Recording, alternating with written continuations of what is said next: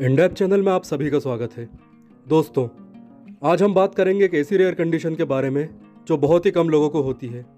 लेकिन जब कोई इससे प्रभावित होता है, तब उसे बहुत ज़्यादा परेशानी उठानी पड़ती है। तो आज हम बात करने वाले हैं मैनियस डिसीज़ के बारे में। मैनियर डिसीज़ कान से संबंधित एक बीमारी है, जो कि वर्टिगो टेंटस और हेयरिंग लॉस का भी बहुत बड़ा कारण है। और ये टॉपिक क्योंकि काफ़ी बड़ा है, इसलिए हम दो भागों में इसकी जानकारी लेंगे।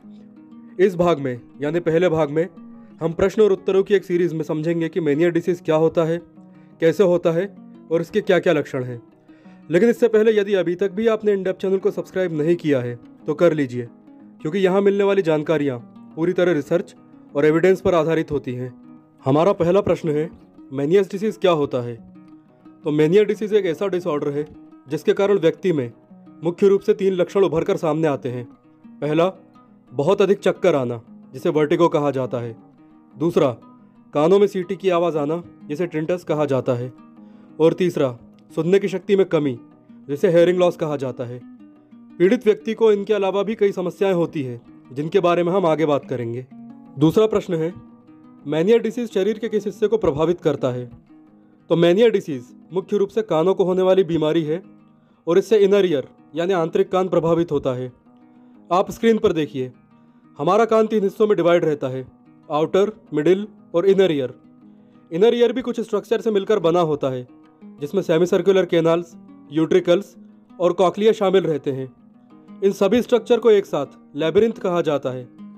अब आप सभी बहुत ध्यान से समझिए कि मैनियर डिसीज कहाँ होता है। देखिए, लेबरिंथ के दो हिस्से होते हैं, ऊपर वाला बोनी लेबरिंथ और इसके अंदर वाला भाग, मेम्ब्रेनस लेबरिंथ कहा जाता है। अंदर वाले भाग में, हमारे कॉकलिया की डक्ट यानी ट्यूब जैसे कई स्ट्रक्चर और चैम्बर होते हैं। मेम्ब्रेनस लेबरिंथ में एक फ्लूड भरा रहता है, जिसे एंडोलिम्फ कहा जाता है। आप स्क्रीन पर देख सकते हैं, इसे हरे रंग से दिखाया गया है। इसके बाहर, यानी ऊपर और नीचे वाले चैम्बर्स में जो फ्लूड भरा होता है, उसे पेरिलिम्फ कहते हैं। ये दोनों फ्लूड एक झिल्ली से सेपरेट रहते हैं, जैसे वेस्टिबुलर मेम्ब्रेन कहा जाता है। दरअसल एंडोलिम्फ ही हमारे शरीर का संतुलन बनाए रखता है, जब किसी भी कारण से। जिनके बारे में हम आगे बात करेंगे, एंडोलिम्फेटिक चैम्बर में फ्लूइड की मात्रा सामान्य से अधिक हो जाती है, तब वेस्टिबुलर मेम्ब्रेन में खिंचाव होने लगता है, जिसके कारण व्यक्ति को ट्रिटस और वर्टिगो महसूस होता है। इसे ही मैनियर डिसीज कहा जाता है, क्योंकि एंडोलिम्फी हमारे शरीर का संतुलन मेंटेन करता है। जब इसमें ही समस्या आने लगेगी, तब ये ऑब्वियस है कि बॉडी बैलेंस बिगड़ेगा, चक्कर आएँगे, और क्योंकि ये समस्या इनर ईयर से संबंधित है, इसलिए ट्रिटस और हेयरिंग लॉस जैसी समस्याओं का सामना भी करना पड़ेगा। इसके बाद, जब एंडोलिम्फेटिक सेक में फ्लूड बहुत अधिक जमा हो जाता है, तब वेस्टिबुलर मेम्ब्रेन फट जाती है और फ्लूइड रिलीज़ हो जाता है। इसके बाद धीरे धीरे वेस्टिबुलर मेम्ब्रेन ठीक हो जाती है और दोनों चैम्बर्स में फ्लूइड की मात्रा पहले जैसी हो जाती है।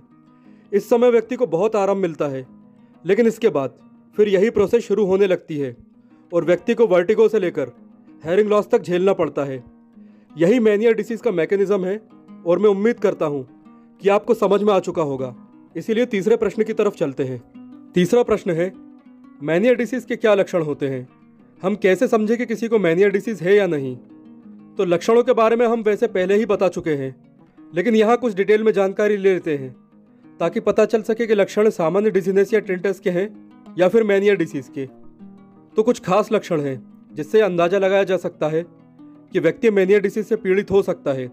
जैसे, पहला लक्षण है चक्कर आना या वर्टिगो। मेनिया डिसीज के चक्कर सामान्य चक्करों या डिजीनेस की तरह नहीं होते हैं। ये काफ़ी लंबे समय तक चलते हैं। तीस मिनटों से लेकर कभी कभी बारह घंटों तक या इससे भी अधिक समय पर।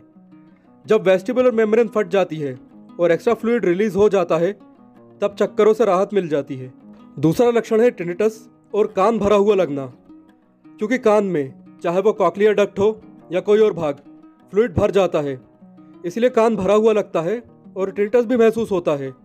आमतौर पर मेनियर डिसीज के लक्षण एक ही कान में महसूस होते हैं। तीसरा लक्षण है फ्लक्चुएटिंग हेयरिंग लॉस यानी कभी सुनाई देना और कभी सुनाई ना देना। फ्लक्चुएटिंग हेयरिंग लॉस एक क्लासिकल सिम्टम है, जिसके आधार पर यह तय किया जा सकता है कि व्यक्ति को मैनियर डिसीज है या नहीं। चौथा लक्षण है चक्कर के साथ साथ मितली और उल्टी आना।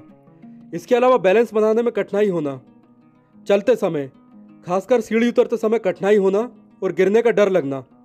तो इस तरह के कुछ लक्षण मैनियर डिसीज में महसूस हो सकते हैं। चौथा प्रश्न है, मैनियर डिसीज के क्या कारण हो सकते हैं? तो देखिए, अभी तक मैनियर डिसीज का कोई स्पेसिफिक कारण ज्ञात नहीं है, लेकिन फिर भी कुछ कारण तो होते ही हैं, जिनमें शामिल हैं। पहला, कानों का स्ट्रक्चर यदि ठीक नहीं है तो ड्रेनेज संबंधी समस्या हो सकती है। यानी कान में भरे हुए किसी भी तरल पदार्थ का ठीक से बाहर ना निकल पाना। दूसरा है माइग्रेन वाला सिर दर्द। तीसरा है सिर पर किसी भी तरह की चोट।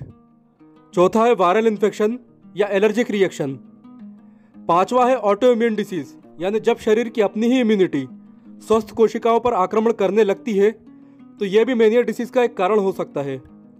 छठवा है ब्लड वेसल्स का सिकुड़ जाना। इसके कारण भी मेनिया डिसीज डेवलप हो सकता है।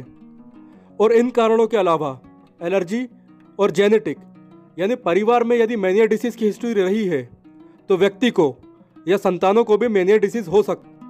तो दोस्तों, इन्हीं जानकारियों के साथ वीडियो के पहले भाग को समाप्त करते हैं। और जैसा कि बताया जा चुका है कि मेनिया डिसीज जैसे इंपॉर्टेंट टॉपिक को केवल एक वीडियो में पूरी तरह कवर नहीं किया जा सकता। इसीलिए इसके दूसरे भाग में आपको इस रोग के डायग्नोसिस, मेडिकल ट्रीटमेंट, सावधानियों और कुछ होम रेमेडीज़ की जानकारी दी जाएगी। जिन्हें अपनाकर इस रोग से पीड़ित व्यक्ति काफ़ी हद तक राहत पा सकते हैं। और मैं फिर से आपको याद दिला दूँ, क्योंकि समय के कमी के कारण इस वीडियो में सबटाइटल देना, या इसे पूरी तरह डिस्क्रिप्टिव बनाना संभव नहीं था। इसलिए हमारे जिन भी साथियों को इस वीडियो का टेक्स्ट चाहिए, वो इंस्टाग्राम के माध्यम से इसे हिंदी या इंग्लिश लैंग्वेज में ले सकते हैं। तो जल्द ही आपसे इस वीडियो के अगले भाग में मिलते हैं। Thanks for watching this video